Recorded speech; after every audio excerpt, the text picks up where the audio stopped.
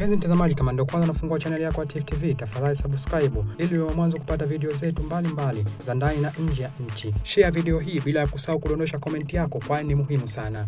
Jamhuri ya Muungano wa Tanzania, Wizara ya Mambo ya Ndani ya Nchi, Jeshi la Polisi Tanzania, Ofisi ya Mkuu wa Jeshi la Polisi Dodoma. Taarifa kwa umma.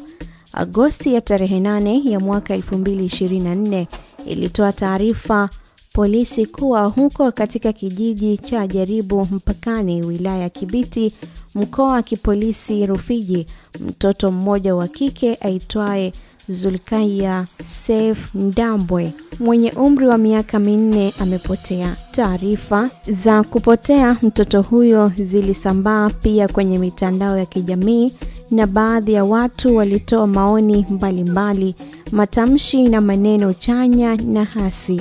Uchunguzi wa awali ulibainisha kuwa mtoto huyo alichukuliwa na mwanamke mmoja mweupe alipokuwa anacheza na watoto wenzake.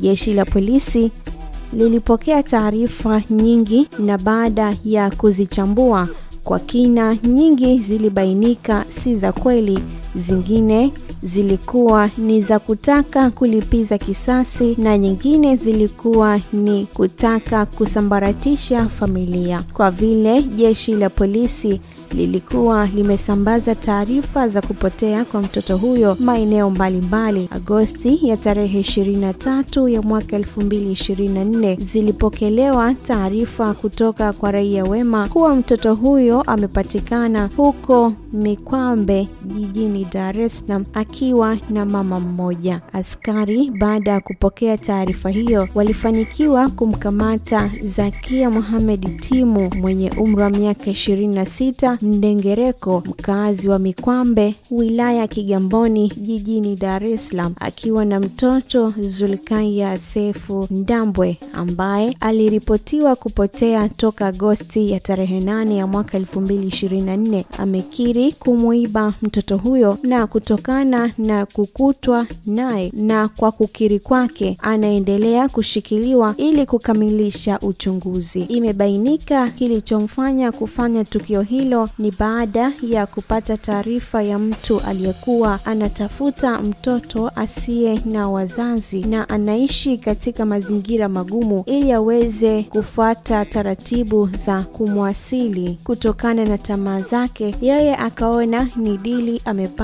na akisukumwa na tamaa hizo akaenda kuiba mtoto huyo. Alipoambiwa waanze kutafuta taratibu na kutakiwa alete wanandugu wengine vyeti na waende kwa kiongozi wa serikali za mitaa kwa utambuzi, alianza kusita na kushindwa kutekeleza masharti hayo. Ndipo mashaka yakaanza na kupelekea kumtilia shaka. Mashaka mengine yalijitokeza pale alipoanza kudai ajengewe nyumba ya vyumba vitatu au apewe milioni hamsini. Imetolewa na David A. Msime, DCP, msemaji wa jeshi la polisi makao makuu ya polisi Dodoma, Tanzania.